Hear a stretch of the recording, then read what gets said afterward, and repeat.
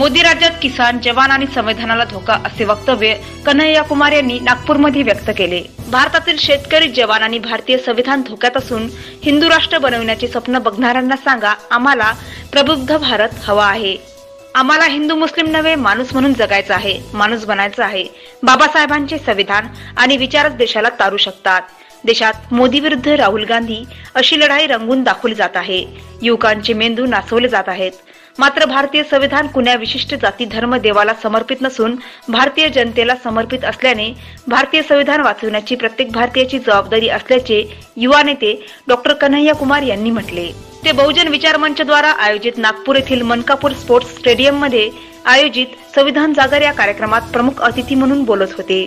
खचाखच भरलेल्या या स्टेडियममध्ये बोलताना कन्हैया कुमार पुढे म्हणाले की नागपूर ही आर एस एस ची संघभूमी नसून ती डॉक्टर आंबेडकरांची धम्म दीक्षा घेऊन पवित्र केलेली दीक्षाभूमी आहे. म्हणून या भूमीवरून बोलताना संघ भक्तांनी कोणत्याही धार्मिक विषयावर डिबेट करावे असे आवाहन केले.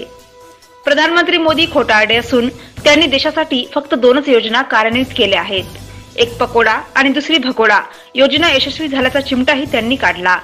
जर देवच सगळं करत असेल तर मग मंदिराचा प्रश्नही ते श्रीरामावरच का टाकत नाही? श्रीरामांनी मला घर बांधून द्या म्हणून त्यांना ठेका दिलाय का? असा टोलाही त्यांनी यावेळी लगावला. शेवटी त्यांनी हमे चाहिए आझादी हे क्रांतिगीत गाऊन प्रेक्षकात जोश भरला. प्रख्यात आंबेडकरी साहित्यिक डॉक्टर यशवंत मनोहर यांच्या अध्यक्षतेत पार पडलेल्या कार्यक्रमात नियोजित पाहुणे सुप्रिया सुळे ज्येष्ठ चित्रपट अभिनेते प्रकाश राज उपस्थित होऊ शकले नाही. त्यामुळे प्रेक्षकात नाराजीचा सूर होता. पण कन्हैया कुमार यांनी आपल्या भाषणातून चौकार षटकार मारल्याने प्रेक्षकांची नाराजी दूर झाली. महावाईसाठी नरेंद्र सोनारकर जिल्हा प्रतिनिधी नागपूर.